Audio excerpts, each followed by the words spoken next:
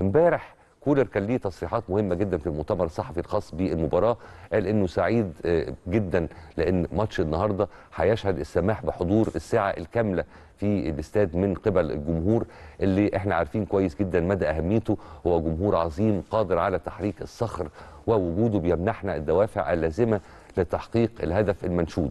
ماتش النهارده يعني آه، هتكون آه، مباراة النهارده يعني هتكون خططية في المقام الأول وسنقدم كل ما لدينا لتحقيق الفوز ومواصلة المشوار في هذه البطولة. وبالمناسبة برضو عايزين نرد على تصريحات مدرب سان داونز الغريبة نسبيا لما بيقول إن الأهلي بيشتكي من التحكيم وبيشتكي من توقيت لعب المباراة وحاجات زي كده. يعني عجيب لأسباب كتير. يعني وأنت مش عايز بعد ما يعني لا يتم احتساب ضربة جزاء صحيحة جدا يشوفها القاسي والداني يعني مليون في المية صحيحة ما نتكلمش.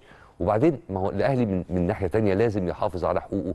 وعشان كده هو يعني بطل أفريقيا ب 11 لقب دوري أبطال غير طبعا باقي البطولات.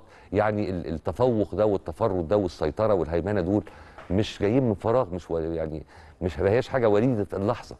زائد إن في ناس برضو بتشوف إن يعني إن هو كانوا بي- بيتبع أسلوب ال- ال- ال- الحرب النفسية إنجاز التعبير. فدي برضو نقطة لازم تتاخد في الاعتبار.